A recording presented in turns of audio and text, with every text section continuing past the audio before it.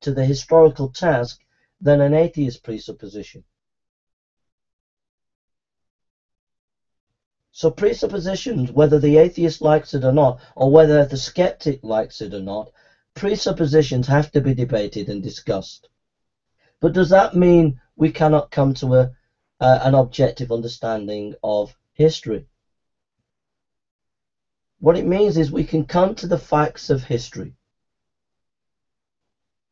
But it, it just means that our bias will taint those facts. And so we have to be aware of how our presuppositions are tainting the facts. And we have to make sure that we limit them to a certain extent, but there is a, a value and central and important debate as to say, to ask the question, whose presuppositions are more consistent with the historical task? This is a big debate that is not debated on campuses amongst atheists and Christians. It is a big debate that is not properly been done in the academic world and needs to be done much more. Most academics will spend some time on their presuppositions, but the vast majority of academics do not do enough reflection on their presuppositions. And if they did, they would actually adopt different methodology, different presupposition, if they realized how inconsistent their presuppositions are, especially in the nature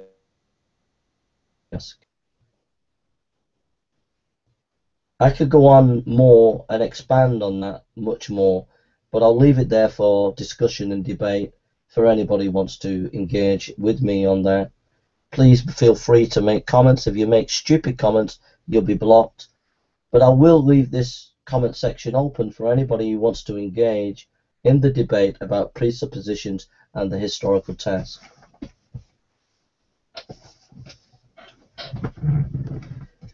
So we have to consider presuppositions, and then secondly, we have to think about methodology. Our methodology of how we engage in um, the historical task is important. Uh, the criteria that we use, the way we tackle the information is important. Often, and I've listened to many, many debates on the resurrection, methodology if it is mentioned, it's very rare, maybe a little bit. And often it's just to score points against each other in debate. But methodology is important. There is a responsibility in debates on the resurrection to lay down what your methodology is and to explain to the public why you've adopted a particular methodology.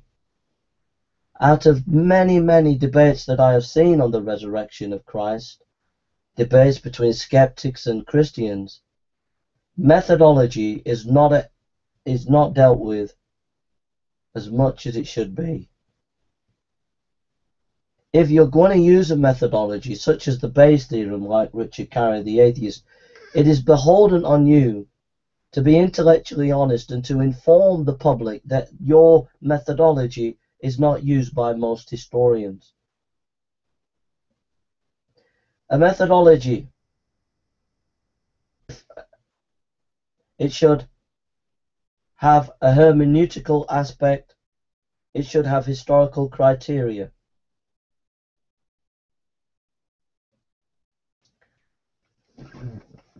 What do I mean by comprehensive? Adolf Schlatter of 16th of August 1852 to 19th of May 1938 wrote over 400 papers on New Testament theology and New Testament studies. He ranked as one of the great theologians of modern times, equal to that of Bultmann. His historical method is used in my debates. I have wanted to debate many atheists, but I've not been able to find many who were willing to debate me on the resurrection. But if they were to debate me on the resurrection, Part of my methodology is using Schlatter, Adolf Schlatter. He, he advises the avoidance of sectarian bias. that you study all relevant material before you come to a conclusion. He seeks to understand the historical context of any ancient text. He gives equal time to primary source material and secondary source. Having a rich interplay between primary source historical material and contemporary scholars. Very often, you will find with the atheist that number one, they do not pay careful attention to historical data. So, for example, you will find, and I've checked all the time, I have checked with Richard Carrier, an atheist, his use of quotations from uh, the book of uh, the Song of Isaiah and other ancient texts, and every time correct. So it's important to pay particular attention to the historical data that we're looking at and to quote it in context, which most of the time the skeptics fail to do. But at the same time, we must be intellectually honest and we must be willing to engage with the wider scholarly community. This again is one of the great weaknesses of the atheist community.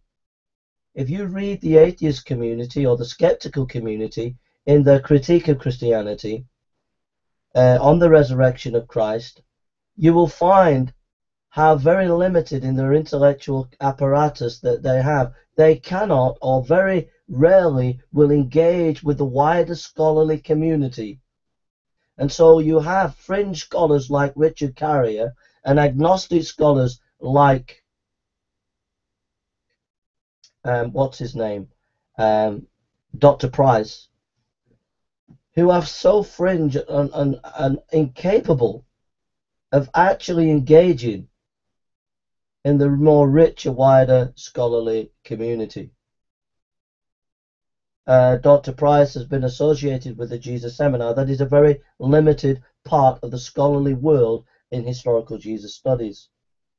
So if you're going to debate on the resurrection of Christ, if you're going to show yourself to be competent, you need to be show that you've engaged with a wider scholarly community. For example, in this paper, I've mentioned Dominic Crossan, who I've consistently studied his material. I have mentioned Dale Allison, whose material I have studied.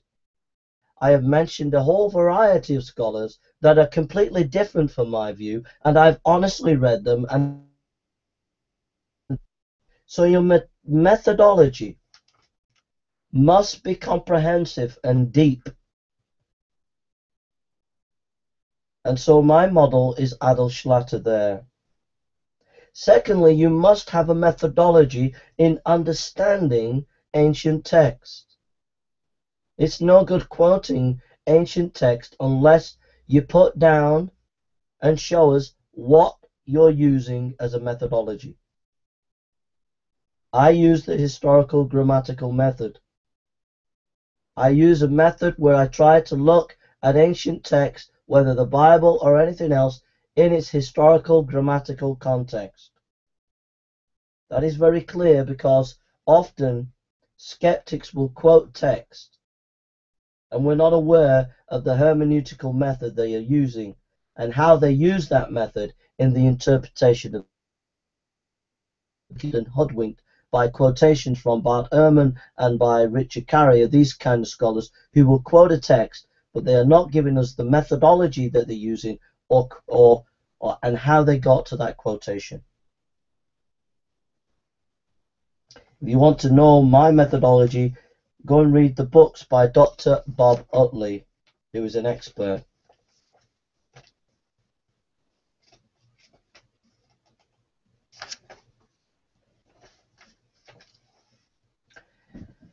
Uh, www.freebiblecommentary.org PDF seminar textbook by Dr. Bob Utley.